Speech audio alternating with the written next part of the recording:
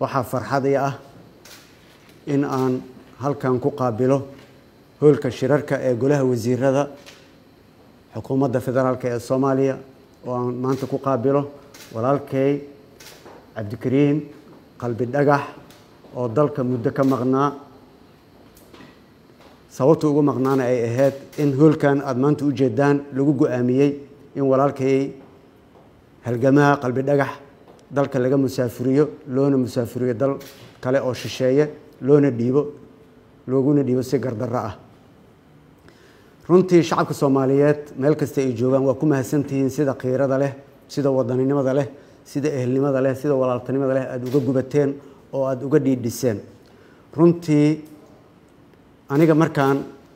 halkaan imid waxaan ilaahay ka baryi jiray inuu maalin igu aadiyo igu simo in aan dhibkaas dhacay ee looga gardarana walaalkay halgamaa cabdi kariin qalbi dhagax si xaqdarrada loogu dhiiba dal shisheeye aan xuquuqdiisii muwaadininimo dalnimo aan dib ugu soo celiyo. Waxaan ka codsanayaa inuu nacafiyo waa ka xumahay raggii dhibkaas geystay inay maanta joogaan xukuumaddii iga horreysay iyo madaxdii iga horreysaba ay waddanka joogaan welina aan laga haynin raaligelin laakiin anigoo ku hadlayo magaca xukuumadda hadda joogto waxaan leeyahay walaal soo dhowow. Waa kaa raaligelineynaa dalkaagii hooye ayaad joogtaa. Tallaabooyin badan ayaan qaadnay golaha wasiirada oo lagu ansixinayey in dembigii lagaa galay dib looga noqdo. Waxaa iyadana ka mid ahayd in